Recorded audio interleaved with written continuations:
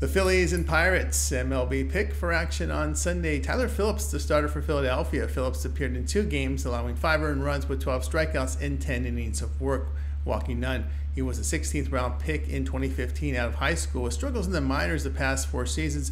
Right hander had 14 starts in AAA this season, posting ERA 4.89, whip of 1.41 in 92 innings of work, striking out 78 batters.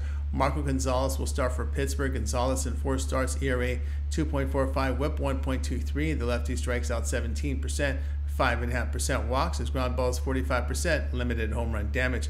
Past 10 games, the Phillies are hitting 267, putting up 5.5 runs a game. Their bullpen on the road, an ERA of 3.15. Pittsburgh's pen at home has an ERA of 4.89, where the team has a run differential of minus 17, batting 231. Philadelphia 47 26, facing teams that allow 4.2 runs per game or greater. That's a plus 3.7 unit return. Play Philadelphia minus 135.